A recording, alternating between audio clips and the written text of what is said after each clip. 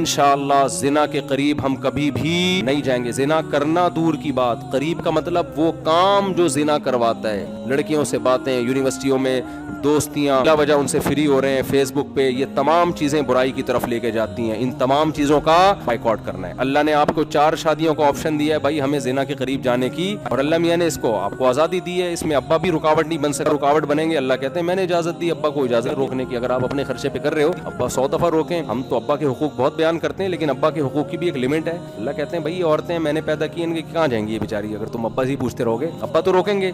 तो अब्बा जब रोका करें, अब्बा को कहा करें, अब्बा, अगर आपके अब्बा आपको रोकते तो आप मेरे अब्बा बनते कभी क्या? ठीक है ना? तो जैसे आपके अब्बा ने आपको नहीं रोका और आपको मेरा अब्बा बना दिया तो मुझे भी किसी का अब्बा बनने दें। जैसे अब्बा बनना आपका राइट है, मेरा भी। अल्लाह ने हुकूक बयान किए। समझते हो कि नहीं समझते? जिना के निका पैगंबरों की सुन्नत जिना बुरे लोगों की आदत है। और गर्लफ्रेंड के बारे में कोई आपको आके बताया करे ना, दोस्त के मेरी भी गर्लफ्रेंड है और आज उसका फ़ोन आया था। आप बोले, ये भंगियों वाले काम तूने कब से शुरू कर दिए तो अप्रिशिएट ना करें डिग्रेड करें इसको। बुरा काम है, गंदा काम है। आज कोई बता रहा होता है मेरी गर्लफ्रेंड है तो हसरत से ना बेचारा पिघलना शुरू हो जाता यार, ये क्या हो गया यार? हम तो हमें तो कोई लिफ्ट ही नहीं कराते। फ़ौरन बोला, करें, यार, तू समझदार आदमी था, ये भंगियों वाले काम का खुदा की कसम, ये भंगियों वाला काम है। गधे घोड़ों के होता है ये सेटअप शादी इंसानों में होती है, गधे घोड़ों में शादी होती। फ़िज़िकल रिलेशन होता है। तो ये लिविंग रिलेशन का नाम दे दिया उस गर्लफ्रेंड को। गंदगी पलीद अमल को एक अच्छा सा नाम दे दिया। लिविंग रिलेशन है इनका। साथ रहते हैं। ये कोई रिलेशन नहीं है। इस्लाम इस रिलेशन को नहीं मानता। इस्लाम एक रिलेशन औरत के साथ मानता है। वो आपकी बीवी हो, आप उसके शोहर हो। इसके अलावा कोई औरत आपकी माँ हो सकती है, बहन हो सकती है, बेटी हो सकती है और कोई रिश्ता आपका उस औरत के साथ नहीं है। बीवी बनाओगे तो रिश्ता बनेगा अदरवाइज़ आपका उसके साथ कोई रिश्ता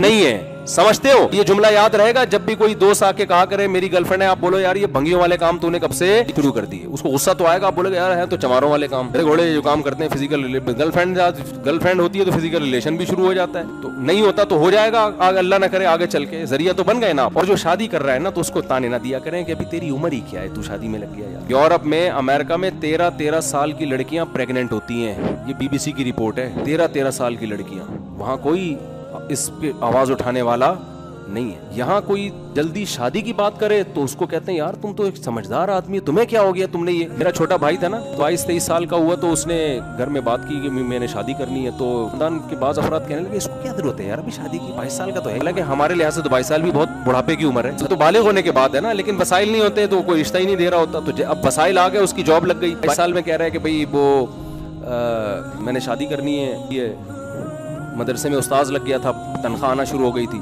तो बॉस बॉस रिश्ता इसको क्या ज़रूरत है? तो मेरे पास आएँगे इसको ज़रूरत मैंने कहा इससे पूछे, इसको ज़रूरत है कि नहीं है?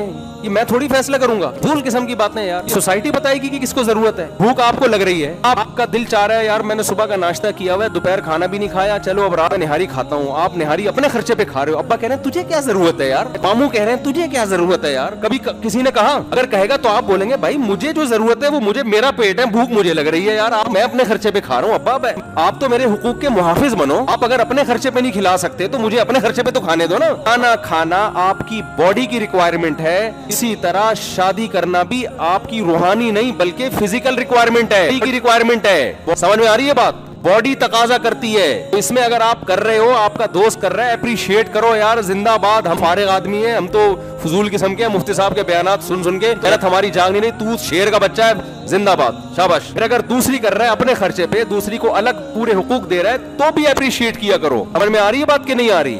निका हौसला अफजाई के काबिल है, जिना हौसला अफजाई के काबिल नहीं है। समझते हो कि नहीं समझते? अब जल्दी जल्दी बात को। एक काम, जिना के कभी करीब नहीं जाना, नंबर दो, जो कहे कि मेरी गर्लफ्रेंड है, उसे कहना, भंगी चमार वाले काम तूने कब से शुरू कर दिए? तीसरा